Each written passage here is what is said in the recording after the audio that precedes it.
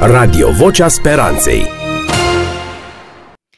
Nu prea multă dragoste răsfață un copil, ci prea puțină disciplină. Ne spune George Uba, autorul cursului Când dragoste se întoarce acasă.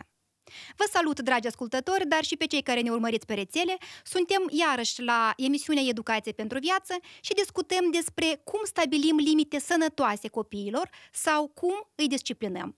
Ca invitat o avem pe doamna Dorina Vasilache, psiholog, lector USM. Bine ai venit la noi, Dorina!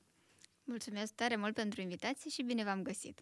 Spune-ne, te rog, pentru început, ce sunt limitele și de ce sunt importante în educația copiilor?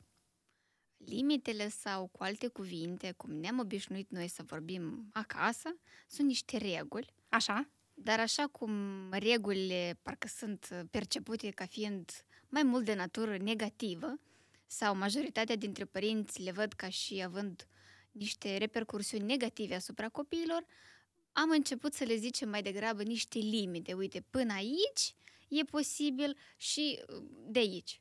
Iată da. de ce noi le zicem uneori reguli, alteori limite. Sunt niște reguli care se impun sau se explică copiilor pentru ca aceștia să nu își cauzeze singuri, prin activitățile sale, prin jocuri chiar, să-și cauzeze anumite leziuni de ce nu corporale, dar alte date, altă dată să înțeleagă, uite, că dacă va merge mai departe de, nu știu, de o gradă casei sau va lovi un copil pentru că nu i-a plăcut că i-a vorbit urât înapoi, s-ar putea să o primească înapoi. Și atunci această regulă îl ajută pe copil și pe adult, deopotrivă, să așa îl disciplineze un pic nu foarte mult, doar un pic. Un pic, da? Foarte interesant. Adică regula până la urmă are și un rol de protecție. Mă protejează pe mine, dar îi protejează și pe alții, că eu aș putea să-i dăunez cuiva.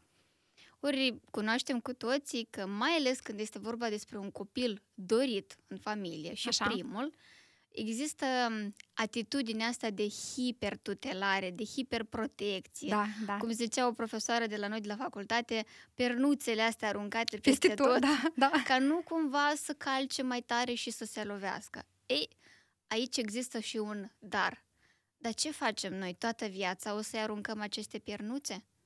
Și dacă la moment îi dăm noi creanga într-o parte ca el să nu, să, să nu intre în ochi, sau îl apucăm noi de mânuță pentru că vine o mașină, dar după ce crește, cum îl pregătim să prindă el peștele, nu să, să îl dăm noi de fiecare dată gata curățit doar să-l înghită. Exact așa este și cu regula. Da, este foarte importantă regula, ne-ați convins. Și uite, cu părinții ăștia care le permit totul copiilor. Dacă vrea copilul să-i cumpere ceva, neapărat copilul va avea, îi se poate totul, îi se permite totul. Unde se poate ajunge? Iată, ați început cumva să menționați, dar aș vrea mai multe detalii. Ai menționat bine. Există regulă și există nevoie. Așa. Eu vreau să mănânc ciocolată. Da. Asta este o o necesitate absolută? Uite, dacă tu nu vei mânca ciocolata asta astăzi, ce se poate întâmpla? Sau este o nevoie, eu vreau. Eu vreau și ce fac? Și bat din picioare. Noi în această situație ce facem? Adulții, care suntem în preajma celor mici, venim cu o substituire, cu îi arătăm altceva în loc. Uite, eu vreau ciocolată, bine, eu la moment nu am bani să-ți cumpăr, dar haide să mergem acasă sau hai să vedem, spre exemplu, am doar 10 lei, să vedem ce reușim să cumpărăm de 10 lei. Așa. Prin această responsabilizare, prin explicare, noi impunem o regulă. Uite, eu am voie sau tu ai voie să-ți alegi ceva până în suma de 10 lei. Și totodată îi arătăm, uite, hai să vedem cifra, ce scrie la această, nu știu, la acest pufuleț sau la, la, la această ciocolată, scrie 7 lei. Nouă ne ajunge? Da. Dar ce mai vrem să mâncăm noi de seară? Ori majoritatea dintre reguli e, e mult mai ușor să le explicăm copiilor prin a comunica, prin a le arăta mai multe diferențe decât a le impune. Pentru că dacă tu, în calitate de părinte, îi vei zice copilului nu, de ce? Pentru că nu e voie. Ori știm cu toții că până în 7-8 ani, tipul de gândire la copil este unul de care? Concret. Și când îi zicem acest nu, fără să-i dăm niște explicații de rigoare, e ca și cum, nu că el nu are voie, dar tu nu vrei să îl dai. Și atunci apar, cum, cum le zicem noi, ă, mofturii, apar, apare bătutul din picioare, ori dacă tu te așezi la nivelul copilului și zici, uite, sau, mai bine zis, înainte de a intra în magazin sau înainte de a merge undeva, știi foarte bine că vor putea exista astfel de reacții, că e și firesc. Da, copilul Uneori- își dorește spre mult stimul și el nu se poate controla ca noi. Da, Dar și uite, noi nu ne uneori putem de și multe nu ori putem controla. Pentru că dacă nu ți-ai pus, nu știu, un target concret, uite, ai 50 de lei când Da, intri da. în magazin și mai ales încă și ești flămând tare, Cumperi de 200. ai impresia că gata, acum seara mănânci toate dulciurile Da, da. care există în magazin, dar mai ales ei, pentru că la ei vreau, este ceea ce îi ghidează până la o anumită vârstă. Așa este. Și noi, în calitate de adulți, părinți, îngrijitori, bunel, este bine să anticipăm aceste comportamente ca să nu se întâmple că, iaca, ce să-i fac? Și îi dau tot ce vrea. Da, m- n-ați tot ce vrei, dar taci. Faci o dată, faci de două ori, faci de trei ori și acest comportament ce faci? Se interiorizează. Și tu data viitoare poți să zici, las că am să-ți arăt eu ție și nu ai, nu ai decât să intri într-o contradicție și într-o uh, co- coleziune din asta negativă în relație cu copilul tău. Și pe urmă ajungi în cabinet la psiholog și zici, gata, eu nu mai știu ce să fac cu el. Cam așa. Dar um, dacă copilul nu a avut reguli de mic, când va fi mare, cumva va avea influență asupra modului cum acționează. În general, o viață sau o copilărie fără reguli este direct, te duce direct într-o adolescență din asta foarte rebelă și foarte uh, distanță, distanțată de părinți. Deoarece, așa cum cunoaștem noi, dacă vrem să pregătim copilul pentru un anumit mediu, da? De exemplu, dacă tu după 18 ani îl trimiți în America, pentru că acolo cunoaștem că societatea este mai, mai libertină, așa, au mai multă libertate și copiii și adolescenții, atunci, desigur că ai putea să riști, să nu-i pui atâtea reguli. Dacă tu decizi copilul tău să locuiască aici, la noi acasă, și Unde în școală sunt reguli peste reguli, de la probabil. grădiniță să de la încep grădiniță, da, să regulile. încep regulile. Așa e. Grădinița, școala, ne mai vorbim deja despre uh, serviciu, despre viața de familie, există niște granițe. Ori, de multe ori, această regulă poate fi percepută ca o graniță. Dacă tu o să mergi acum pe apa înghețată, ce faci? Riști să cai sub apă. Bun, tu poți să încerci să vezi dacă gheața e, e groasă sau subțire, dar să mă ții pe mine de mână. Sau poți să încerci cu o creangă, dar să-ți asumi această responsabilitate. Pentru că regula, dacă noi o aplicăm de mic, atunci noi ce facem prin asta? Responsabilizăm adultul de mâine, adolescentul de mâine. Ori, dacă noi, uh, foarte mulți părinți m, confundă această regulă cu tentativa de a-l inhiba pe copil și de a-i uh, limita din, uh, din creativitate, din dezvoltare. Da, da, Uh, Pentru că dacă tu îi zici nu, el va crește un copil cu imagini de sine scăzute, va fi inhibat, va fi frustrat, celălalt vor putea să-l uh, călărească cu alte cuvinte, da, metaforic exprimându-ne. Bine, dar haideți să vedem unde este limita. Iată, asta e foarte important, pentru că sunt părinți care pun reguli peste reguli, dar alții nu pun deloc. Unde e limita asta? De... E foarte important să ținem cont și de specificul copilului pe care noi încercăm Așa. să-l responsabilizăm. Ori există copii pentru care ai zis nu punem mâna acolo pentru că o să te frigi și el nu o să pună mâna acolo. Și există alt copil care tu îi să zici de 10 ori nu pune mâna acolo.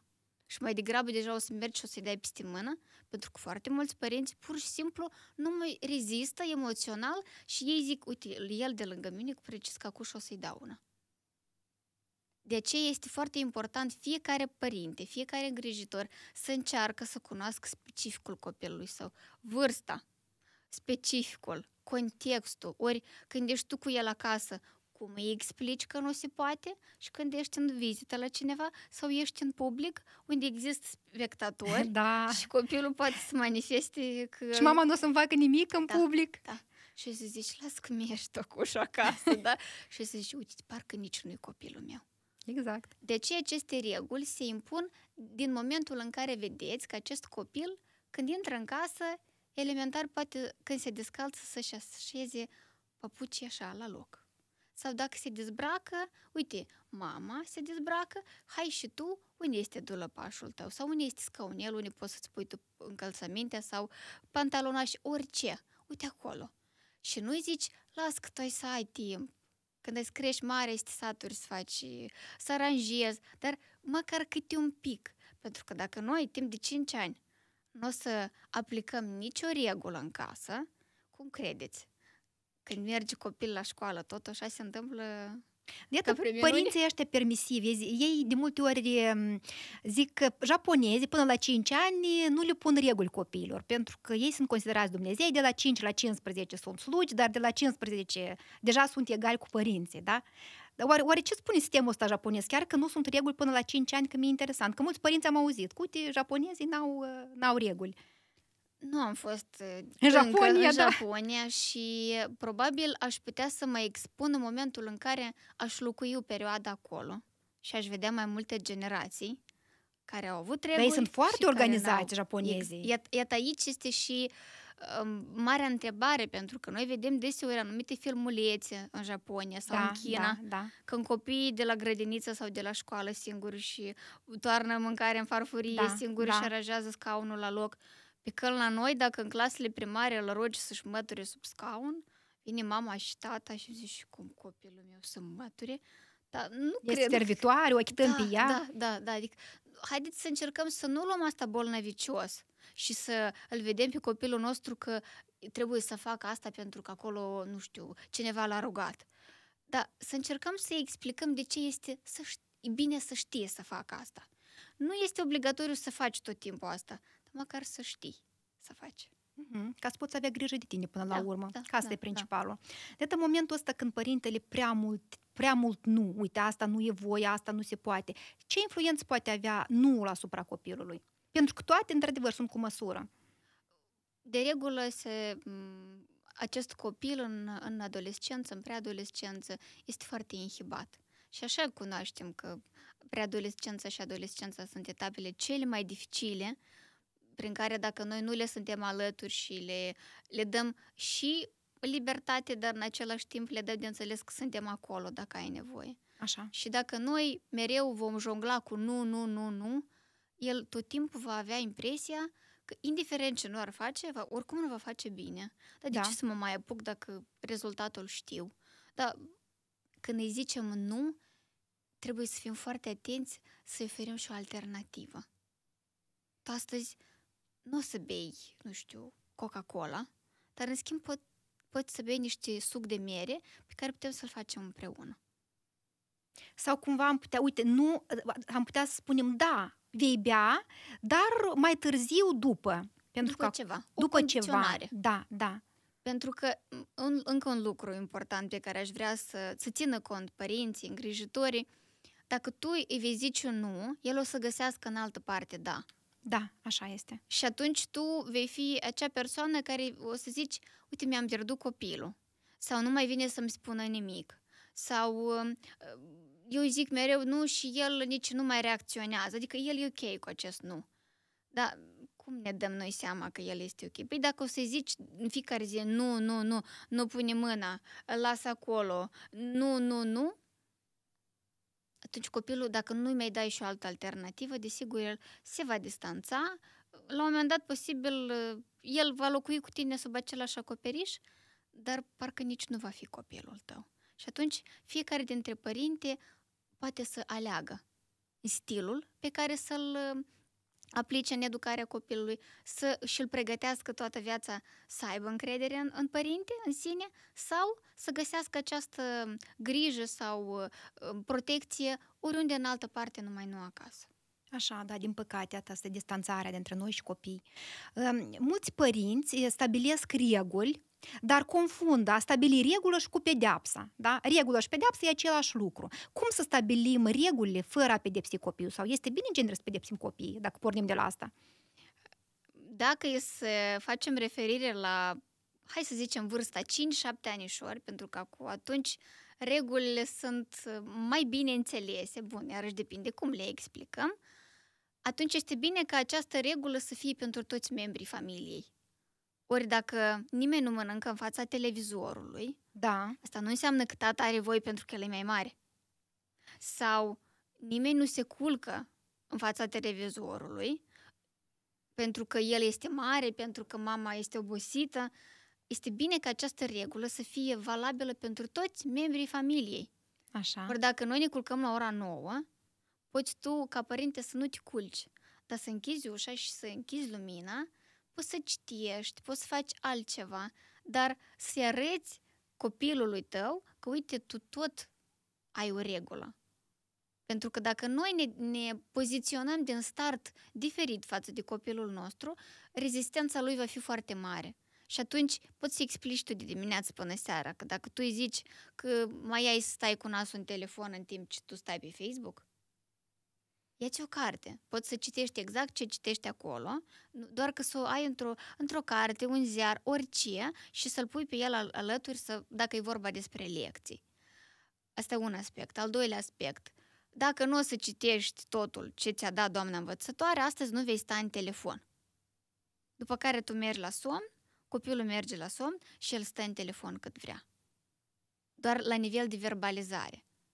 Haideți să încercăm să vedem de ce este bine să explicăm copilului că nu este bine să stai în telefon. Sau să stabiliți împreună ce tip de, mie nu-mi place cuvântul ăsta pedeapsă, dar ce tip de responsabilizare sau la ce ai putea tu să renunți în cazul în care faci ceva greșit. Sau consecință, da? O S-ar putea. consecință. Uite, dacă ai stat prea mult în telefon, uite, îți va fi sustra, su- sustras pentru o zi. Dacă Da. ai stat trei ori Nu astăzi, te vei da? juca cu, cu prietenul tău cel mai bun și vei înțelege de ce. Ori acest uh, m- moment în care tu îi explici copilului de ce până la urmă l-ai privat, de ceva Da. care îi place, este bine să-l lași un pic să analizeze la mintea lui, așa cum poate el, după care să-l întrebi.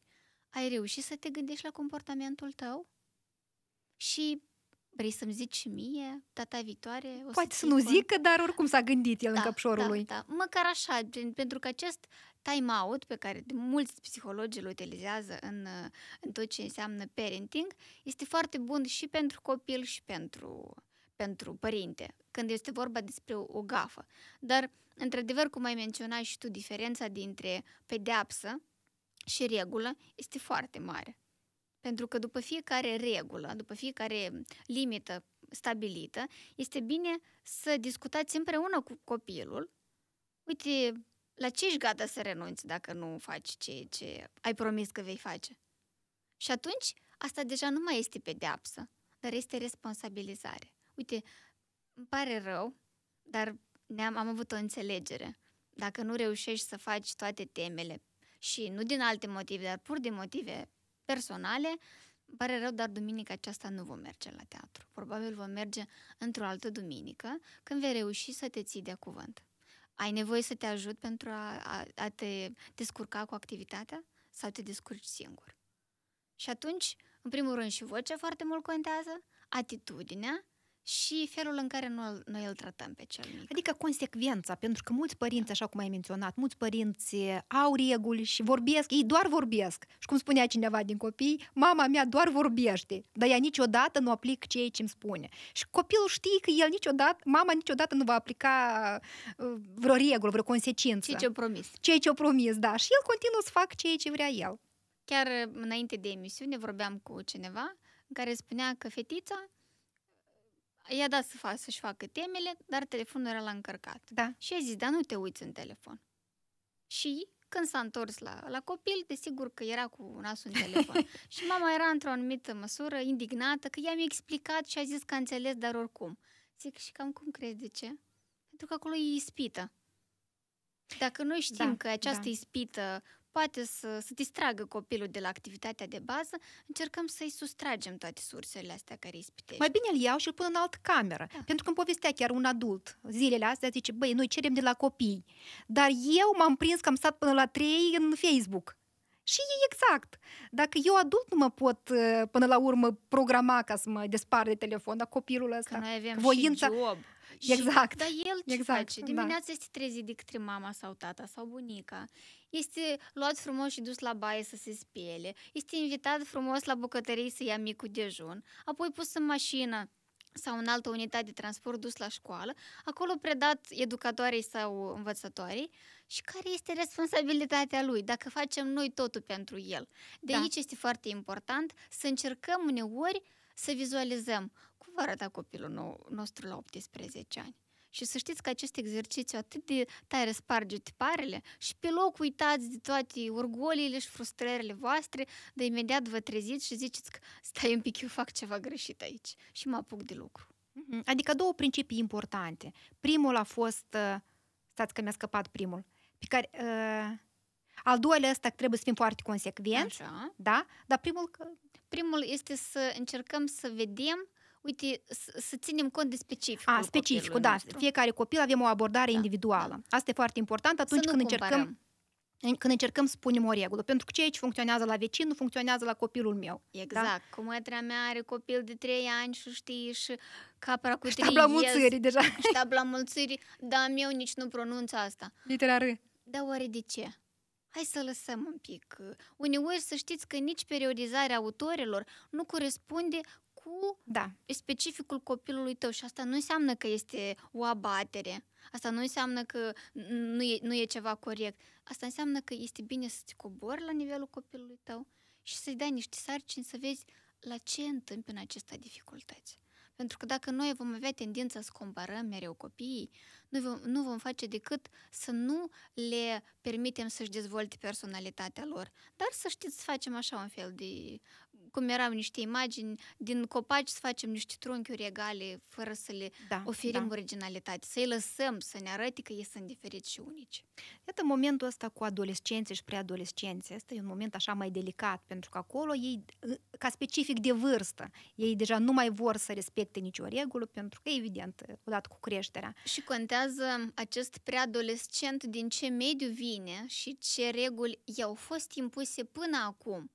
Ori dacă copilul tău de clasa 7 8 până acum ai făcut tu mereu mâncare, nu, nu l-ai pus niciodată să facă ordine din urmă. Să, elementar să-și curăți papucii. Da. Elementar să ducă gunoiul sau să, dacă tu nu ai reușit să cumperi produsele pentru a face bucate, să trimiți copilul la magazin atunci tu vrei așa peste noapte el să zici și mama, hai eu astăzi am să gătesc în loc tău sau am să fac ordine. Bun, există și așa cazuri, dar nu este cazul să le luăm ca pe, uite că acela au făcut așa, dar meu nici măcar nu deschide ușa să mă întrebi mama cum a fost ziua de muncă. Ori empatia, asertivitatea, modelele corecte se văd de acasă, Că Da, poți da. tu să-i spui de dimineață până seara ceva, dar dacă tu nu vei face ceea ce zici, este echivalent cu te trecut pe lângă urechi. Mhm. Pentru că cunoaștem că ei, mai ales la început, sunt, pe, sunt uh, ființe care învață din ceea ce văd, din imitare. Pe, lân- pe, e, pentru ei, până la vârsta de 6-7 ani, uneori chiar și 8, Ăsta e primul lucru pe care l-ai menționat, că trebuie să noi întâi, în primul rând eu să respect regula, după asta copilul. Da. da. Pentru că poți tu să-i ceri Da, lui să fie da. ideal, dar tu, în schimb, stai și mănânci semințe. Nu fuma, dar tu toată ziua stai cu țigara în gură și în fața copilului, da? Și zici, Sau- când ai să ajungi ca, Ca mine, da. Astea sunt niște modele educaționale destul de demodate și neajustate la specificul generației din prezent. Mhm. Din păcate, deseori ne ciocnim cu părinți care, eu când eram, uitați, noi nu putem să, ne, să, să zicem ce era în anii 80. Atunci era internet? Unde, unde își petreceau majoritatea timpului? În mahala. Fie în mahala, fie cu deal, la deal împreună cu părinții, la strâns Da, da, da, porum sau da, la da. prășit. Urmează anii 90, care majoritatea copiilor erau afară. Era ora 8-9 seara, trebuia să te tragă acasă cu arcanul. Da, da. Acum încearcă să-l scoți afară. Dacă ai Wi-Fi și niște gadgeturi în casă, asta e lupta cea mare. Așa este. Dar putem spune acum că părinții moderni sunt mai permisivi decât uh, cei din trecut? Este schimbarea Sunt asta? mai permisiv, dar în același timp mie uneori mi milă de părinții din prezent, pentru că ei încearcă să compenseze ceea ce nu au reușit să facă părinții lor cu, cu ei în Da, copilărie. da, da.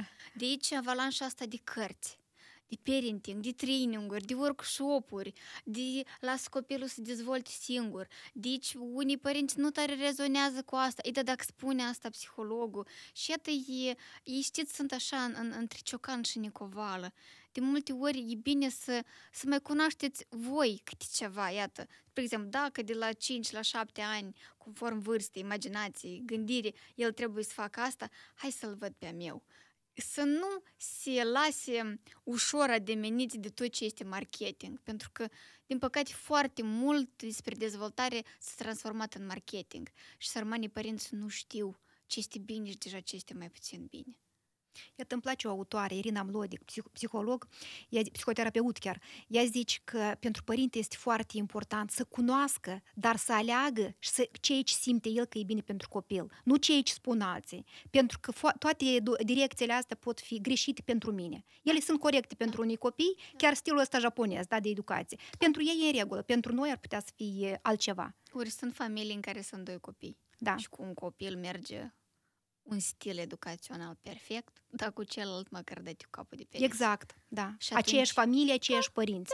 Da, e același material ereditar, tot, același context. Că noi uneori zicem, ei, contează mediul. Bun, dar în cazul ăsta e vorba despre temperament, e vorba despre personalitate. Și Exact. atunci, tu chiar în calitate de, de îngrijitor sau părinte, ești nevoit să aplici două stiluri diferite. Și atunci tu ești ca la al doilea job. Da. Cu, la unul îi zici că, uite, o să bea lapte și el o să zică, bine, o să bea. Și la al doilea trebuie să-l întrebi, tu ce bei? Bei cafea cu lapte? Bei lapte sau bei ceai? Bei paharul plin sau bei pe jumătate? Și asta e o, o, o tradiție din asta sau un, un tabie dimineața. Unul se îmbracă exact cu ce îi zici tu și absolut e tot N-are una. treabă, da. Al doilea seara, înainte de somn, trebuie să deschid garderoba și să zic, nu-mi place ni- nimic din ce avem aici. Și atât de ce este bine să fiți informați, așa cum ai menționat tu, dar să vă ajustați și modelele pe care le cunoașteți ă, la stilul copilului vostru, dar și să-l cunoașteți. Pentru că Da, avem foarte da. mulți părinți care, ei, la 4-5 ani să mă învețe el pe mine și să fac eu cu dânsul. Da. Aici alegeți voi ce Da. fel de copil vreți să creșteți, ce fel de personalitate vrea să aibă copilul dumneavoastră.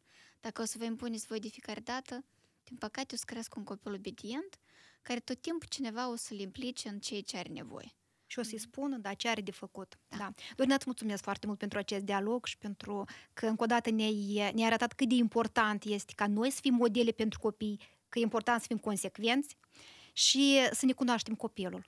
Că asta este foarte important. Cu mare drag și tare sper că va fi util Da, ascultătorilor. sperăm că va fi util ascultătorilor. Dragi ascultători, dacă mai aveți întrebări sau dacă aveți sugestii, ne puteți scrie pe pagina noastră de Facebook Educație pentru Viață, la Radio Vocea Speranței Moldova sau la adresa electronică contactarond rvs.md. Radio Vocea Speranței